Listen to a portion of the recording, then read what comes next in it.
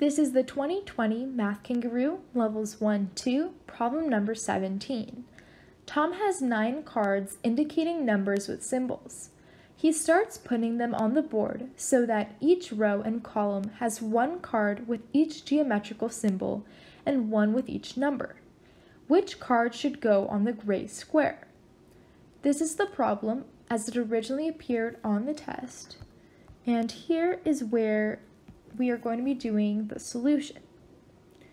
To start, I've rewritten this sentence over here because it's very important we have a good understanding of what it is we're trying to do.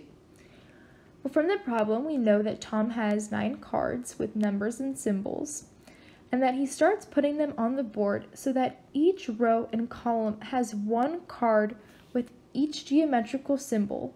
So each row and column must have triangles, squares, and circles, and one with each number. So we're going to have one, two, and three of those shapes for each row and column.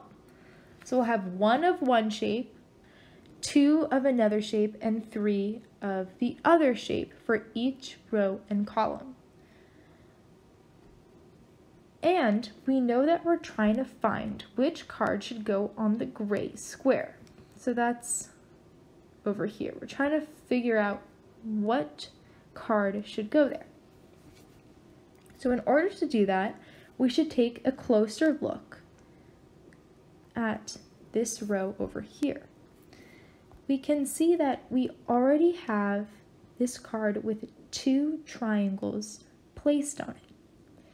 So again, looking at our requirements for each row and column, we can see that we've already placed our triangle and we've already used the number 2 because we have two triangles.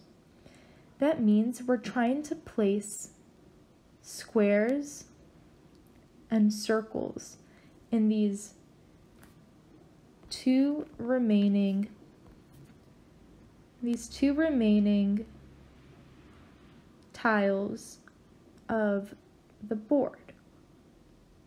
So one of them has squares and one of them has circles. Let's start by figuring out where the circles are because we have more circle cards on the board already. So it'll be easier for us to figure out where the remaining circle card goes. Well, we can see due to this card over here that there cannot be any more cards with circles on them in this entire column because keep in mind of our restriction. For each row and column, we have a card with triangles, one with squares, and one with circles. We cannot have two with circles in the same column or row. So that means that we cannot be placing our circle card over here because again, uh, we have a restriction. So that means that our circle card must go over here.